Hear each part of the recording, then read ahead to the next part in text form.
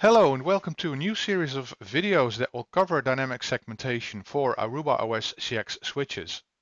Let's cut to the chase and get right into it.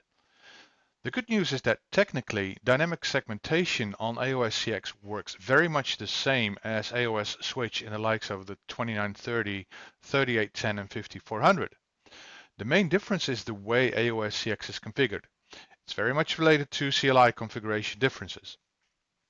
In this video, I will sum up the differences and in the videos that follow, I will show you how to configure everything. This will include the configuration of local user roles, downloadable user roles, and user-based tunneling.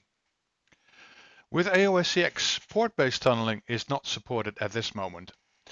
It is unclear whether this will be supported in the future, but at this moment, and we're talking software release 10.6, only user-based tunneling is supported. For downloadable user roles, a root certificate is required to be installed on the switch. With AOS Switch, this was done automatically when entering the command for the downloadable user administrator.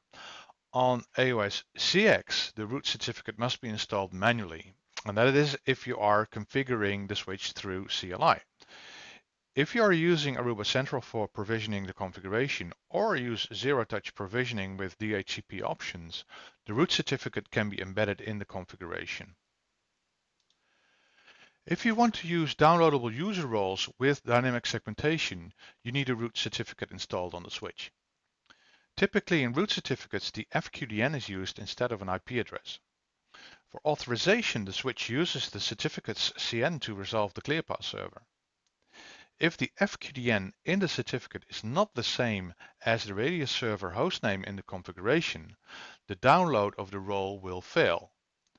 Therefore, it is best practice to define the Radius server in FQDN format. Another advantage that you will have when you define the FQDN is that when the IP address of ClearPass changes, the switch will simply resolve the new ClearPass server. There is no need to renew the root certificate.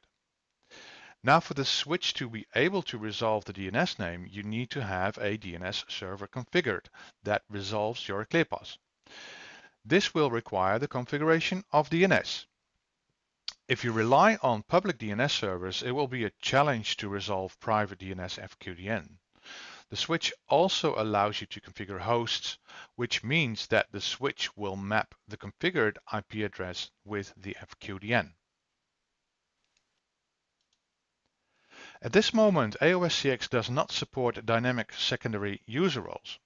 As a refresher, with dynamic secondary user roles, the switch can instruct the mobility controller, and actually Aruba has changed the naming mobility controller to gateway, uh, to download the secondary user role from ClearPass, instead of having this role configured locally on the gateway.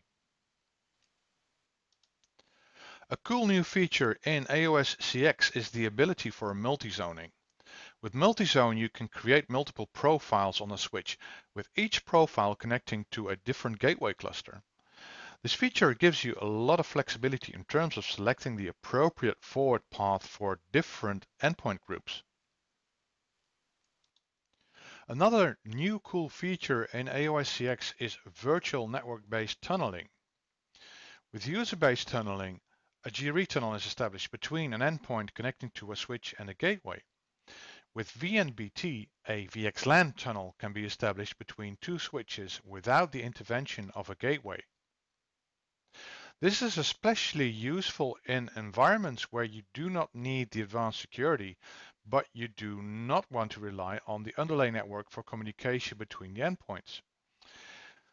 And really, so these are the main differences. And of course, to get all of this working with AOS CX, you need the right software levels on the gateways and ClearPass. And in the upcoming uh, videos, I will be using this setup. In this diagram, you see all the relevant components and their software releases. In the next video, I will be demonstrating the configuration of local user roles with local breakout or user-based tunneling. So watch the space. I'm looking forward to getting you all up to speed with dynamic segmentation on AOS CX. Thanks for watching.